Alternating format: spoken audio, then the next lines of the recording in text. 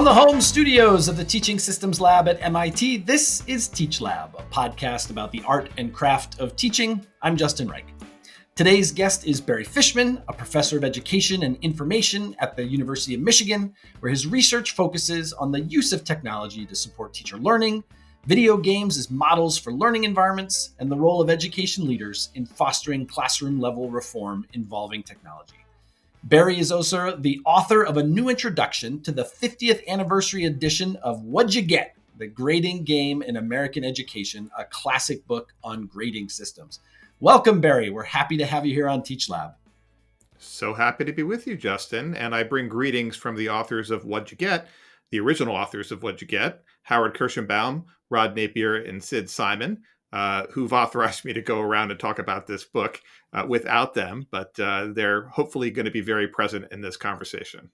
Well, I'm certainly glad that they're present, given that the book is 50 years old. That if these guys are still hanging in there, um, that's terrific.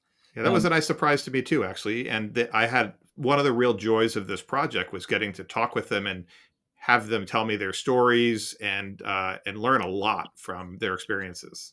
So tell us a little bit about the origins of the book. Um, what what did you learn in those conversations? How did these guys get together to write this story? And maybe just as a little bit of, of maybe maybe even before that, we should say like what is the book and how is it framed? So the book is called Wad-Ja-Get? The Grading Game in American Education, and it was originally published in 1971 by two professors at Temple University, education professors at Temple University, Rod Napier and Sid Simon and one of their graduate students, Howard, or he goes by Howie Kirschenbaum. And uh, the book was, uh, in part, a reflection of their own experiences, both with teaching. Uh, they all had worked in various points of time as secondary school teachers and as college teachers. And uh, Sid Simon, in particular, was an early adherent of what he would call blanket grading. Let's take grades off the table he was teaching at uh, uh, one of the i think cuny campuses and he said let's give all this i'm going to give everyone a b. The students were fine with that. Grades are off the table. We can just focus on learning. Before that he would he was teaching in uh, in i think high school and he used to say how it would break his heart to have to give these students a letter grade uh, and then get into sort of arguments with parents and with kids about grades. He said he wanted to use all the letters of the alphabet really involved in sort of narrative grading. Lots of feedback was his goal. And when he got to Temple and uh, Howie uh, Kirschenbaum was in his class or TAing for his class, they decided to push it a little bit. And he said, well, let's give all the students A's. And uh, the administration did not like that. Uh, it uh, became a kind of clash around his contract, and he was denied tenure. Talking about Sid Simon here. And in response, because he was such a beloved teacher, there arose protests. And Sid actually sent me some newspaper clippings from the Philadelphia Evening Bulletin, a newspaper I read as a kid growing up in Philadelphia, mainly for the comics. But uh, you know, it was it was this whole uh, public event that was going on around Sid Simon and his his approach to grading. And as part of the faculty review of uh, of Sid's tenure case in reaction to all of this, uh, they engaged Rod Napier, another professor at Temple, who did a systematic review of the research up to that time on grading. And uh, the conclusion was grading is highly problematic. It's highly contestable. What Sid's doing is completely reasonable. And uh, Sid was granted tenure. He actually ended up leaving Temple, going to UMass Amherst. But the experience was made uh, under uh, Howard Kirschenbaum's leadership into this book, which is written as a fictionalized uh, account of a suburban high school um, uh, called Mapleton High, and uh, it doesn't read like an academic book. It reads like a you know a, a, novelized kind of debate within the community and the school and their characters, and there's a, a kind of a plot uh, in which they weave through all of this research. The work that Rod Napier did as part of the the, the case at Temple actually became an appendix, an annotated appendix of research on grading. Uh, and the the book um, presents the problematic nature of grading. It doesn't come to a conclusion per se. It doesn't tell you what you should do. It just it problematizes the whole thing. Now, I was doing some work at Michigan um, and in some other places around thinking about how we could advance the state of the art in grading and really make it reflect more about learning and care and equity, things that I think are very important and very missing from uh, current grading practices. And a, a graduate a school colleague of mine, Laura D'Amico, uh, who had done her dissertation on what she called um, assessment infrastructures, said, "Oh, there's a book I read when I was doing my dissertation. This is back in like 1995. Um, at that point, it was already an old book, um, but it really made an impression on me. It's called Wad-Ja-Get? I got it out of our university library. It was in kind of deep cold storage. Um, dusted it off, read it, and was just astounded to find that the ideas, the challenges, the solutions, the arguments, they were pretty much exactly the same arguments, challenges, solutions we were still having and, conducting today. And I was so impressed that I did a thing I've I just don't do this. I wrote a fan letter to the authors. I found their emails online. Uh, one of them was uh, Howard was just recently retired from um, I think it was uh, the University of Rochester, and he's emeritus professor. At, I was kind of surprised that he responded to say, "Oh, we were so happy to get your message." Um, and because in the email I told him why I was so inspired by the book and some of the work I was doing, he said, "You know, uh, Rod and Sid and I have been kicking around the idea of trying to republish Wad-Ja-Get somehow. We would love to see if you could help us with that. And maybe you could write a new introduction to contextualize it and kind of bring things up to date. And that was really the birth of this project. And it's really such a pleasure for me to be able to bring this book back into the, the forefront of the conversation because after its republication, what's happened is a lot of people have come out of the woodwork and said, this book made a huge impression on me when I was a pre service teacher or when I was a teacher or a parent thinking about these things. And one of the nice things we were able to do in the republication was make it digital. That was actually one of the hardest parts of this process. There was there were no nothing except hard copies of this book. There was uh-huh. no digital version of it, so we Somebody had to, had to kind of recreate it. it. Yeah, someone had to retype it, and we had to correct that, and we had to up fix things. Um, uh, we were also able to make it available in accessible formats, and uh, and the authors were willing to make it available under a Creative Commons license, which means that you could, of course, go buy a paperback version of it, but you can also deal with the electronic versions for free, which I'm really hopeful means we can put it in more people's hands, use it to catalyze more conversations, uh, and and help make you know re-energize this movement, which has got a lot of energy right now, in part because of COVID and for other reasons around grading. Well, we definitely want to get into the sort of recent COVID angle, but of course, it's also really interesting to hear that here's this thing that was written 50 years ago based on research from that time that you think still feels durable and relevant. So, I don't know, can you summarize for us what are what are a couple of the key points of the grading research that Rod Napier came up with when he was defending his colleagues' uh, tenure review? What are what are what are some of the sort of key principles that that somebody might want to have in mind as they're as they're starting to read this book or think about these issues? Let me take that question really as sort of what's a rundown of the problems with grading because that's really what came out in that review and and I think yep. you know from that literature review conducted 50 years ago uh, there's been more recent research that kind of reinforces that work and extends it in some way but first problem grades are not reliable and they're not objective if you uh, take, um, I mean, and what's interesting is this is true for English. You might expect it like in literature, right? So teachers might be very subjective when they're grading an essay, but it's also true in math. I mean, it's true in all kinds of areas you wouldn't expect um, objectivity to be a problem. Um, that when you look at students who are judged by some third party to be doing equivalent work, they might receive very different grades from their teachers. And this is in part because grades are a very confused construct uh, there's a term that gets used called hodgepodge grading.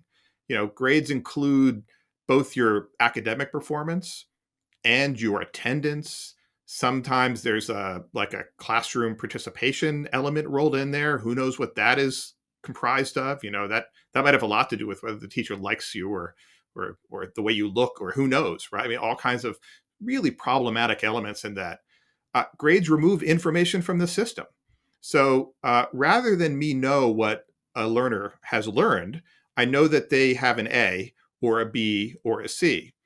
What does that mean? Doesn't mean really anything at all, um, especially if it's a B, right, or a C. It's like so if I'm teaching, say, an advanced level class, and I've got and, I, and people don't do this, but if they were if they cared to look at their students' prior performance on a transcript, they would not know what they know and don't know. They would just know what this letter thing was. And maybe you throw a curve in. That's even worse. Curves really remove information from the system and they ration success, right? So there's sort of it, this is one of the worst problems with grading, I think, is that they were really designed for uh, ranking um, and sorting. They were never designed to encourage learning. And that really shows through in some of these deficiencies with what grades do. Uh, I'll go on. Grades reduce motivation for learning. There's a decades of research in academic motivation about how when there's a grade attached, people become very focused on the grade and not focused on the learning. And uh, when there's feedback uh, and a grade, people focus on the grade and they ignore the feedback. I mean, this is certainly my experience as a teacher as well. Grades contribute to student stress and mental health challenges. Uh, there was just some research published in the last couple days uh, indicating that in very academically competitive schools, students are way more stressed than in other schools. Um, that's a lot about this sort of sorting and ranking problem. Um, and then there's issues, these are issues that weren't really highlighted in what you get. In some ways, what you get is also a product of its time. Uh, in the 70s, there was a lot of unrest of a lot of different kinds in the US. Um, but the book itself doesn't really deal with uh, sort of racial inequality uh, directly. It wasn't one of the topics that these gentlemen were focused on. Um, but more recently, we've really come to understand that when you have systems that are built around ranking and sorting, um, the places people start matter a lot. Um, and it's very hard to recover when you start from behind. Uh, and so uh, grades are one element of systemic racism and inequality in education. They, they contribute to the problem. They they promote they, they don't do anything to take away from that challenge. And it's one of the things that we deal with all the time when we look at issues like access to higher education, for instance, or access to jobs and the role that grades can play in that uh, can be very corrosive without again us really having a real information about what the learners know and can do because of what the grade is so there's 50 years of work that's fairly durable it sounds like there's a there's some slice of that work that really focuses on issues of racial inequalities and other kinds of inequalities that are more new but a kind of neat thing about reading what you get um, is you're transported back to the 1970s where people are having debates that sound pretty salient now. Um, you know, we've we've lived through 15 months of pandemic now, um, where in lots of institutions, um, grading practices that had been very consistent in many places changed very quickly, and then also many places changed back very quickly. You know, at my institution of MIT, um, one of the things that we discovered is that our forebearers had like buried somewhere in the books that like you know the like in an emergency the chair of the faculty is allowed to change the grading system to you know pass no record or ab no record something like that um, you know and everyone looked around and went aha I'm very glad someone thought of this before. This is going to work much better than what we had planned. Um, it's also the case that in a lot of K-12 schools, you know, we did a bunch of research on this in March, April, May of 2020. Um, lots of systems went to um, uh, pass fail, went to, you know, pass no record, some kind of non-grading system. Um, and uh, we interviewed teachers and and they described to us a kind of double falling off. Um, so right when the pandemic hit, they lost a bunch of students. Then a new set of policies came in, getting rid of grading systems, and then they lost a second group of students. Um, so then we were really surprised in August and September. You know, some of our sort of you know kind of uh, strong progressive allies with the great progressive pedagogy credentials um, were saying we've really got to bring back some of these extrinsic motivation systems this September um, because we don't have in place what we need to to do without them. Um, so yeah, lots of tumult about grading and grading systems over the last year. How do you, how do you see that kind of um, affecting the conversations that you're having now with folks about the book? Yeah, before I directly answer that, and by the way, thanks to you and your colleagues for all that great work uh, when the lockdowns were starting and there was a lot of rapid transition in schools. Many people commented, you know, we've never seen so much fast transition in education in the history of education, and it's a lot to deal with. And I think the work you did really helped help give people some data to work with, right, and some some ground rules to think with. I know I passed around your review of what different states were doing to a number of colleagues uh, in K 12 education in particular. Um, and in fact, we uh, at the University of Michigan held up your uh, what MIT was doing as part of our debate about what we should do right now. It was very very useful. Um, so for me, so I've been teaching at Michigan now for coming up on 25 years, and I've observed changes in my students, and I, often characterize the change as um, a reluctance to, to a reluctance to exert autonomy. Um, so 25 years ago, I could um, assign my students a very loose sort of paper topic as a midterm or a final. You know, I'd like you to write a paper on a, a topic of interest to you that's related to this course, um, and to you know explore some. I have some more parameters, but very loose. Over the years, they've required more and more specificity in exactly what they should do. At some point, I introduced a rubric, which I'm dying to get rid of because uh, it really leads to extremely boring work when people are just responding to the rubric.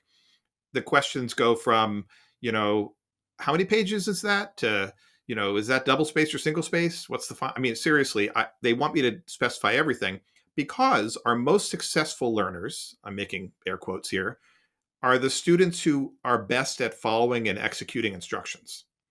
That's what it means to be a successful student today and to excel. You've basically done everything that you're told to do really really well.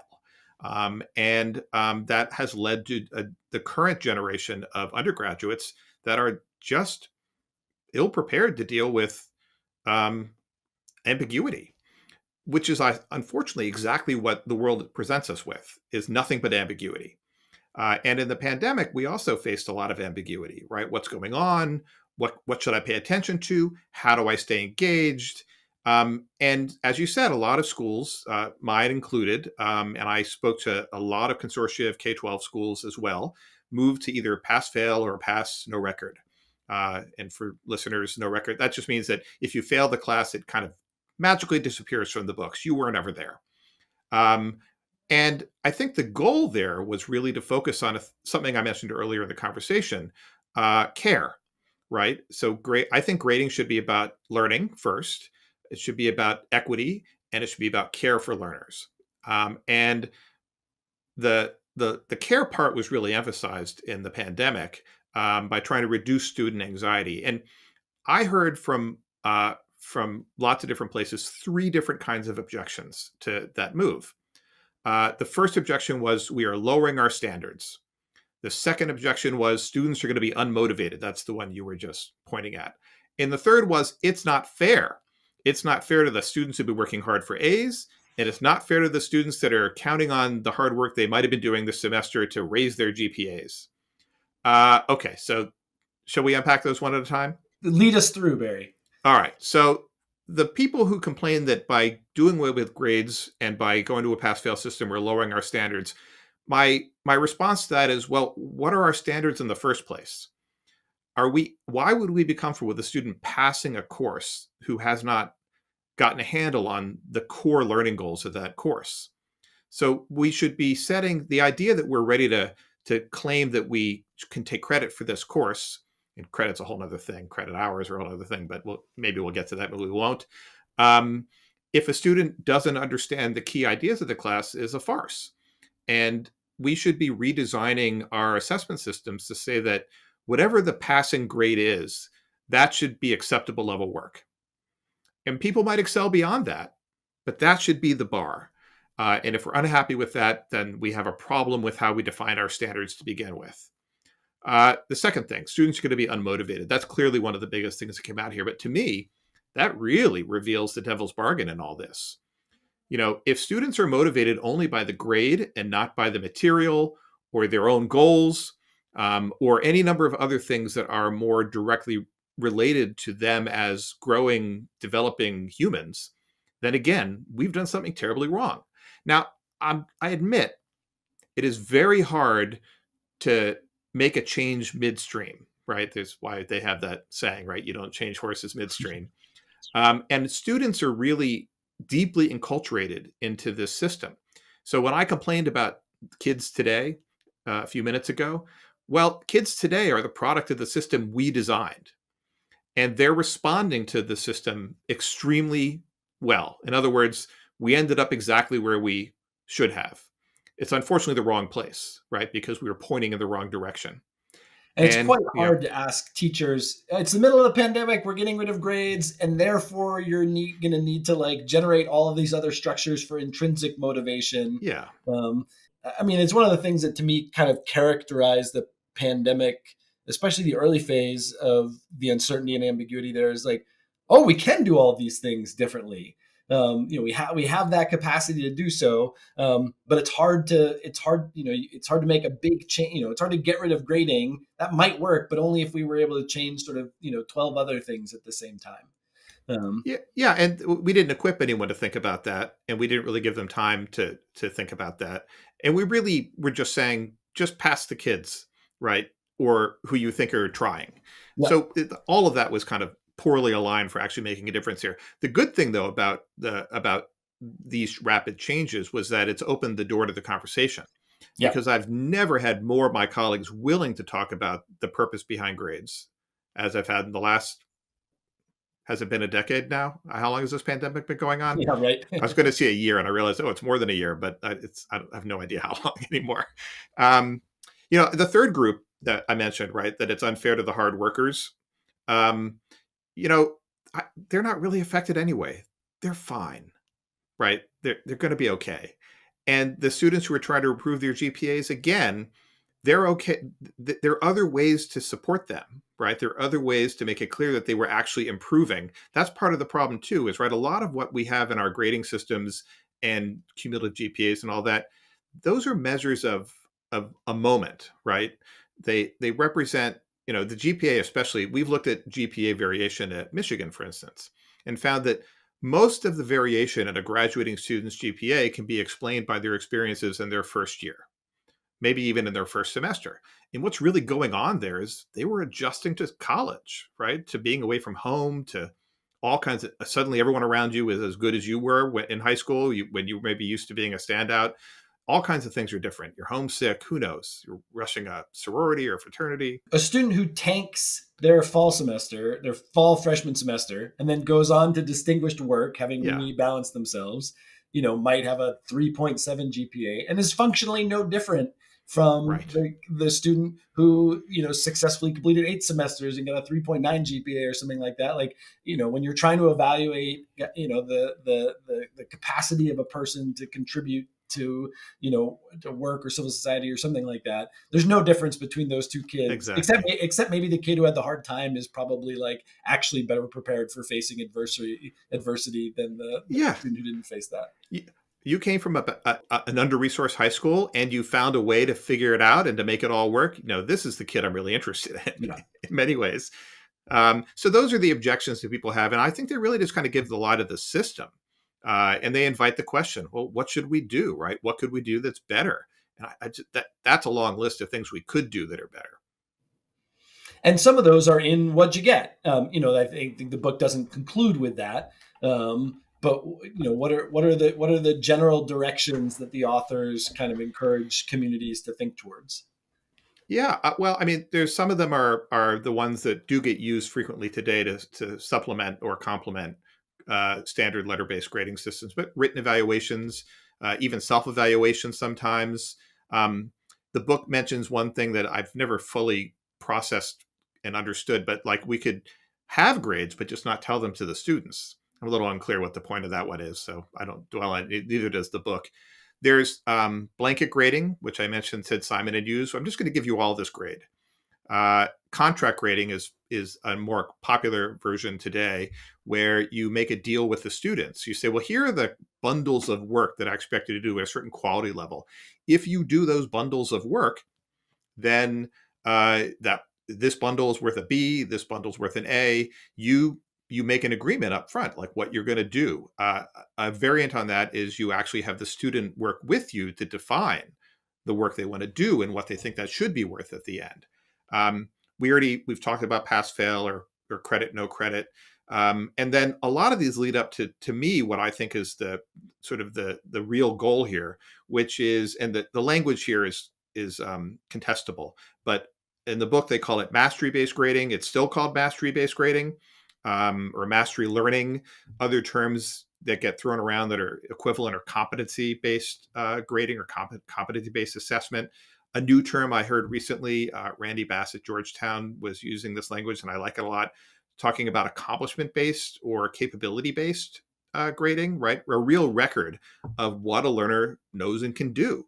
Uh, and that's important because it lets us start to distinguish what people know and therefore what it is they need to focus on next. That's what's missing from current grading systems, which tend to sort of smooth all those differences out uh, and make it very hard to distinguish between learners and to figure out what they need or where they're headed or how to how to customize or tailor their their program. I mean, all kinds of things start to open up when you actually have a record of what somebody knows how to do and what they have done. And there are some domains that have had some success moving in those kinds of competency and mastery directions. Um, you know, especially places where high quality work is well defined. Um, you know, I, I, was involved in some efforts to bring competency based, accomplishment based sorts of evaluations into teacher education. We were often comparing ourselves to medical education. You know, and there's certain things in medical education, like a paramedic, you know, comes up to someone who's not breathing on the street and they try to intubate them. And you can tell pretty readily whether or not the intubation worked. Like, their, their chest is moving up and down and air is passing back and forth, or it's not. Um, in teacher education, some of these things are much more ambiguous. You know, um, how well did a student um, you know, create a classroom environment that was inclusive to all. Um, how how much did they challenge students to the degree that sort of put them in their zone of proximal development, had them feel um, challenged and stretched, but not overwhelmed. Um, some of those things are are sort of more subjective you know maybe maybe as subjective as abc or 87 93 uh, 97 are um, but uh, how much do you think the kind of practical challenges of alternative grading systems are what bog people down versus you know inertia or moral objection or other kinds of things like that?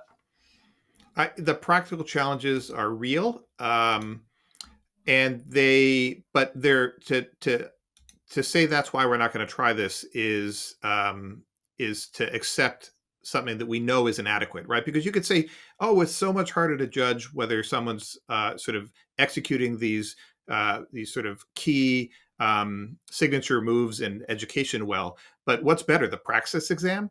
You know certainly the not practice exam which is the test that teachers take to become teacher and it's like a um, right. Uh, is there some per- performance component to it, or it's mostly a multiple choice test? It varies from place to place, from state to state, as such things do in yep. education. But you know, let's talk about other domains, right? So I, I think in uh, you know, I'll pick on the sciences. Uh, so especially in college, where a lot of introductory science classes tend to be quite large, uh, we we have adopted the multiple choice exam. Uh, sometimes there's a short answer. Sometimes there's like a show me your work kinds of things. Uh, but by and large, we have these exams and decades of sort of question banks that have been developed in your physics department or your chemistry department.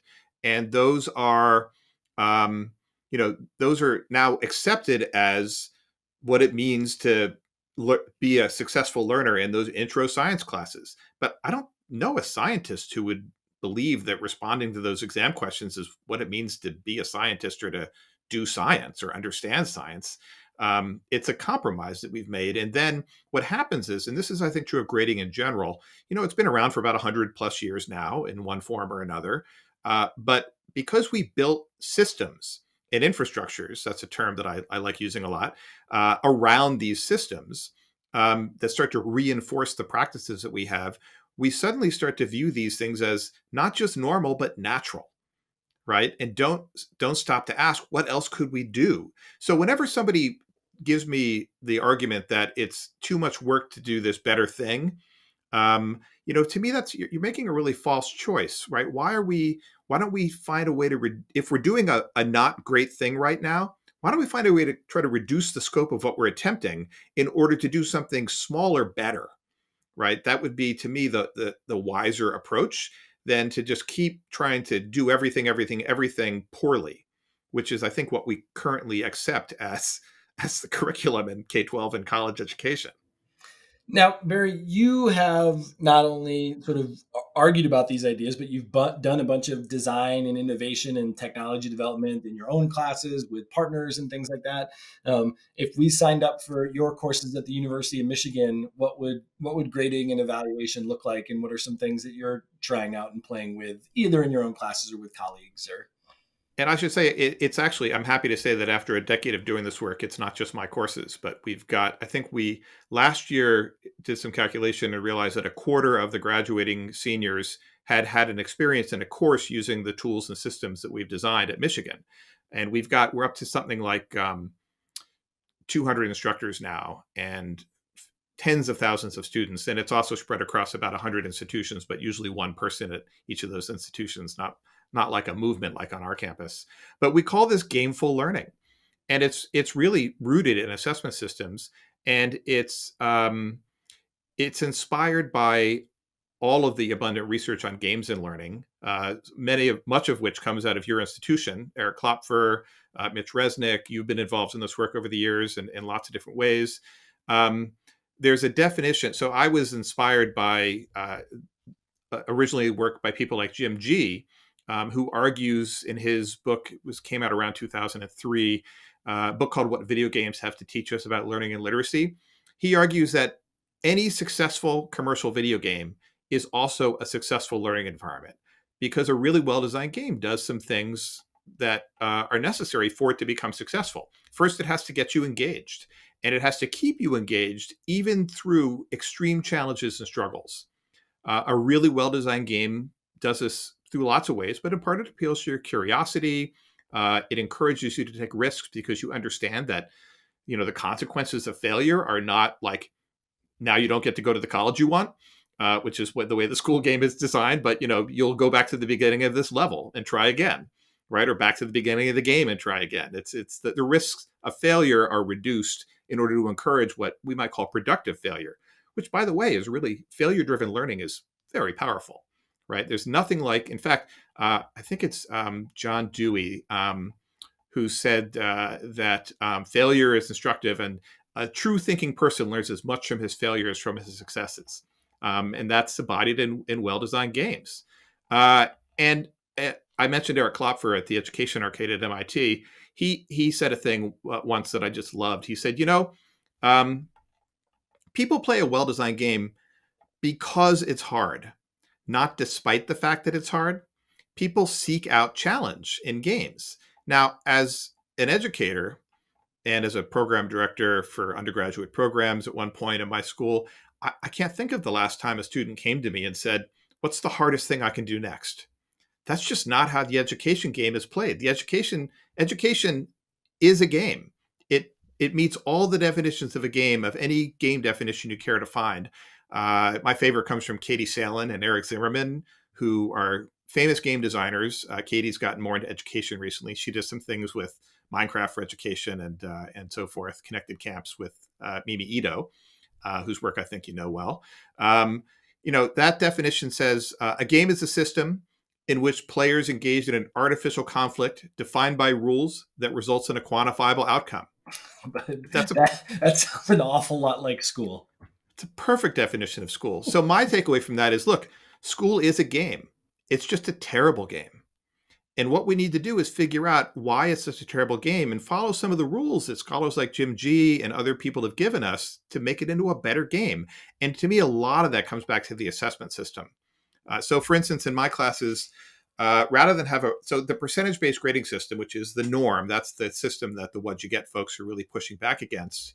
Um, everybody starts with 100 and then it's yours to lose. So let's say you do pretty well, Justin, on the midterm. You got a 95. Good work. Not 100 anymore. Yep. You're playing a losing game. And I can't tell you how every year around midterms, I, I look on Reddit for the University of Michigan subreddit, and there's always posts of people saying things like, I got a 34% on the the CS1 midterm, you know, am I doomed? And people come back and say, no, that's actually a pretty good score. And I'm thinking, what is going on here? Uh, and at the end of the semester, people say things like, I only need to get 150% on this final to pass this course. It's like, well, that's not going to happen. So that student, not being a fool, will stop paying attention to that course, right? Put their energy where it might matter. So in my classes, you start at zero. Welcome to class. You all have nothing, but you can end up wherever you choose. And then I map out lots of pathways that people can get there. And I have a lot of different kinds of assignments for people to do, all aligned with my learning goals. The objective of which is that by the end of the class, you will have done enough work in enough areas to demonstrate to me that you have met those learning goals, but everyone will have taken a slightly different path to get there. I mean, it's not like everyone's totally individualized. There's variance, but there's, uh, you know, in the end, what I'm trying to do is give the learner some autonomy, some choice, and some freedom to have productive failure because when somebody when they get their first big paperback from me and they have only earned half of the available uh, points on that paper say or they haven't met they've only met half of the learning goals their first response is to freak out. This has never happened to me at michigan. But then we sit down and we've built tools and infrastructure uh, and a tool called gradecraft that helps them map their way to the goals they do have for success. And that that has proven to be a very popular system with students because it it gives them control back and it's proven a very popular system with instructors because it allows them to grade very to like say i mean to be very firm right with what they're demanding of students and to have very high expectations and and help students find their way to them.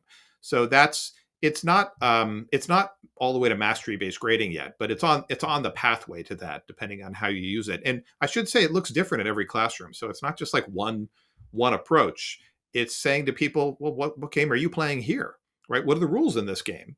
And uh, and letting every instructor just define that for themselves. So we see all kinds of variants on this uh, in different classrooms across campus and in campuses around the country and around the world that are using Gradecraft and most of these faculty presumably end up converting things back to an A, B, C, D system because somewhere in Michigan's register offices that's required. Um, but the thing that you've done is to say, well, instead of saying you all start with 100 and we're just going to see how far you fall each time you step up to the assessment plate, you're going to say you're all going to start at zero, and there's going to be sort of lots of different ways to build points, to demonstrate mastery, to accrete your proficiency. Um, and so through a number of different pathways, um, you know, the, as many of you as possible should meet as many of the learning goals as possible um, as can be be achieved. Um, use and and we'll put in the show notes uh, links to Gradecraft and and some of the other things that you've shared there. Wonderful. So schools are going to start looking more normal in September, hopefully. Um, we'll have lots of folks get vaccinated, lots more people go back on campus. Um, people are going to be really tired. At least that's one of our sort of key findings right now. Like it's probably not a moment um, in which educational systems are going to profoundly reinvent them um, because the people who've been leading those educational institutions are going to go take a nap this summer. Um, but as they wake up from their nap and come back in September, um, what kinds of conversations are you hoping that they have? Where might Wad-Ja-Get fit into that? Um, what what should we be talking about next to to keep thinking about assessment and grading? Yeah, I, am certainly planning on starting a reading and discussion group among my colleagues uh, to start to open them up to this idea, you know, what's possible. And the first step there is to really problematize grading, right? To get them to question what feels natural and to think about what else we could do. Um, I, I, mentioned the term infrastructure earlier. I think create, creating tools that help shape practice is really important. So I actually I subscribe to a, a this is actually ironic given the current political debate about what do we mean by infrastructure. Um, it's I, not, it's uh, not align... just childcare. It's it's also like grading tools should be in the infrastructure bill. Yeah, uh, but it's because you know this sort of sociological definition of infrastructure uh, is that it really is sort of the standards and conventions that shape practice. So that you know we we build roads and bridges that match the way we think we want to drive, um, and the way we build those roads and bridges, in fact, reinforces the way we do drive. Um, and so infrastructure has a lot to do with more than just the roads and bridges. You know, it, it is it is things like childcare and it is things like learning management systems, right? A learning management system is a kind of infrastructure that really shapes grading practices because the grade books in these things are built by actually a, one brief side, short side rant is most learning management systems aren't built by people who think about learning. They're built by computer scientists and business majors literally, who were um, who, who are recreating their experience in some respect. This only further reinforces all these elements of the system we've been talking about, including the grade books. you know, you can use a tool. I'll just call out like a Canvas. There are mastery pathways in Canvas. There are various ways that Canvas tips their hat to these alternative ways of thinking about grading. But when you talk to people that are trying to use them, they all sort of throw their hands up and say, yeah, that didn't really work out because Canvas really, really wants 100% somewhere in there. Uh, and it's just a bear to work around that problem. Um, so that's why we built Gradecraft, right? It's you could plug it into Canvas and use it as sort of a grade book that is built around alternative notions of learning and grading that welcomes you to experiment and welcome and doesn't enforce a particular model on you and that's a kind of infrastructure. So we also need to build that out more broadly. So one of the reasons why k-12 schools are so reluctant and this comes up in Wad-Ja-Get all through the book as the students are saying well how will i get into college? And how exactly did college get to demand so much of what high school was all about? Um, and really I, I view college as the tail that wags the dog here because so much of k-12 even for even for learners who maybe don't feel like they're college bound, is designed around college uh, and the college admissions process in particular. And this is one of my another sort of observation of mine as a recent old man is, um, you know, when I was in high school, arguably high school was preparation for college. Today, high school is arguably preparation to apply to college. It's it's all about getting your resume in order and because so much of that process is impossible to control, students tend to get overly focused and, par- and their parents and, and everyone else gets overly focused on the things they think they can control, which are their grades and their test scores. Um, everything else is an intangible. So um, we need to change the college admissions process. We need we need to we need to retrain the dog, right? Um, or retrain the tail. wag in some other direction. Yeah. So uh, in the intro, I, I mentioned the movements like the Mastery Transcript Consortium, which are building tools that are in fact infrastructure. They're trying to replace the standard transcript with something that is aligned with mastery based learning. And once you have those tools, I think it makes it easier for teachers uh, and parents and learners to see um, what's possible. And the Mastery Transcript Consortium has had some success. They had uh, I, I don't know the exact, exact numbers offhand, but they had, you know, uh, something like 100 students using the mastery transcript to apply to colleges last year, and they were successful. They got into colleges, including the University of Michigan. And so, with these example success stories, we can start to kind of calm some of the fears of these hyperactive parents um, and start to say, look, this is another pathway that maybe is better for everybody.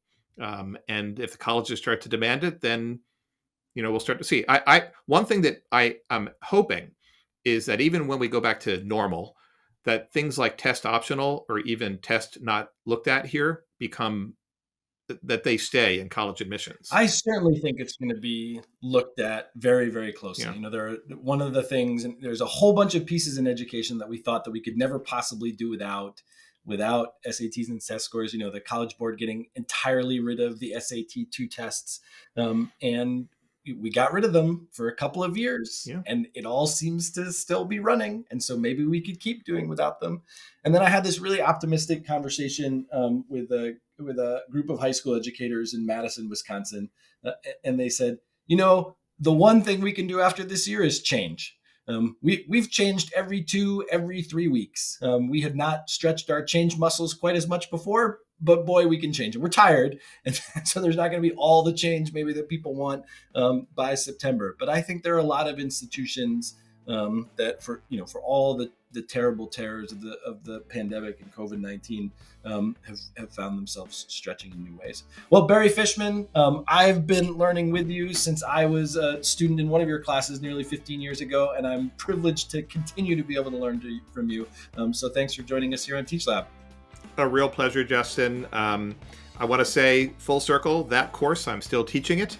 Uh, and this fall, Failure to Disrupt will be the key text for that course. Terrific. Uh, the mix of the book and the podcast conversations uh, from the book club, I think, are going to be a great way for my students to really dig into what's challenging about education technology and the the limit the limitations it has for really leading to true change. That's great. And you'll get your $20 by PayPal um, not long after. All right. Thanks, everybody.